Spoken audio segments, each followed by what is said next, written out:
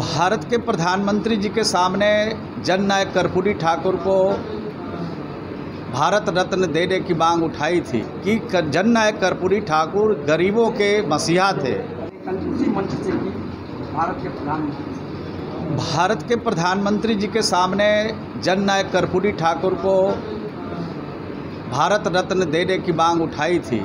लेकिन ये मांग उससे कबल से ये मांग उठ रही है।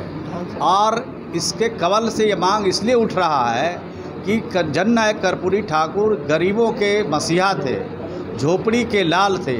हमेशा गरीबों की भलाई के लिए उनका प्रयत्न चलता रहा, जीवन प्रयत्न करते रहे और राज्य की तरक्की में, राज्य के विकास में और ख़ास करके सोच तो पीड़ों की, पीड़ितों की आवाज़ थे इसलिए उनको भारत रत्न की उपाधि से नवाजा जाना चाहिए। हम भी आपके माध्यम से देश के प्रधानमंत्री जी से मांग करते हैं कि उनको देश रत्न की उपाधि दी जाए। सर एक अंतिम सवाल आपकी विभाग ने दूसरे किस्त के लिए भारत सरकार को पत्र लिखा है जो अलॉटमेंट मिलना था क्या वो मिल गया?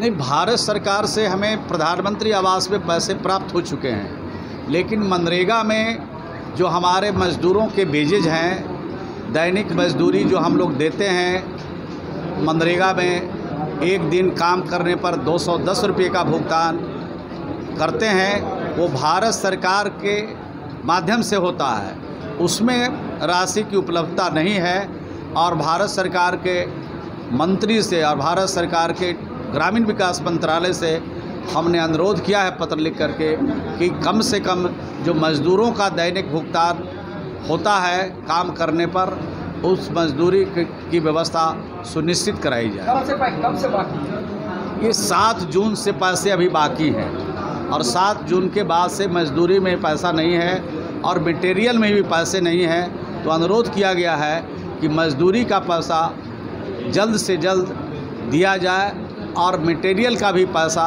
मिल जाए तो और भी मनरेगा का काम करने में हमें सहूलियत होगी और इस राज्य में हम श्रमिकों को काम दे सकेंगे।